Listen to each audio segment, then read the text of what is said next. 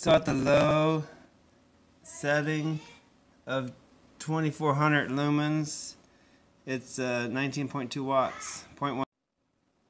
At the medium setting, 3300 lumens, it's 25.2 watts, 0.21 amps.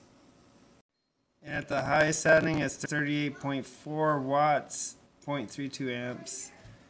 And that's for 4400 lumens on high. So I have it on the low light setting right now. This actually work really good as a light board. Maybe put it in a frame and a plexiglass over it.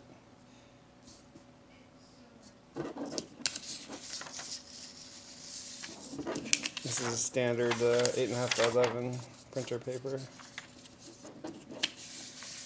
This is actually uh, more of a cardstock